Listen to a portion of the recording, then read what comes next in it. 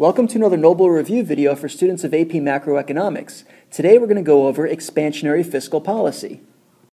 One tool of an expansionary fiscal policy is an increase in government spending. When the government increases spending, that will raise aggregate demand, the price level, real GDP, and employment.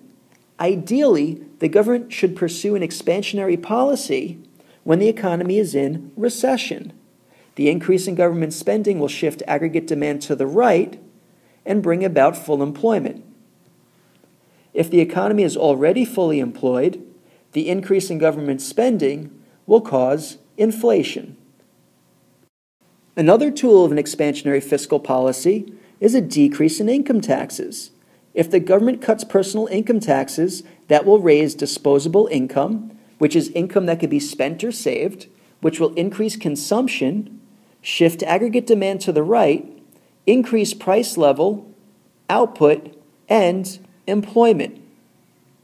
Another option is that the government could reduce business taxes, which would then increase gross investment, which would also shift aggregate demand to the right.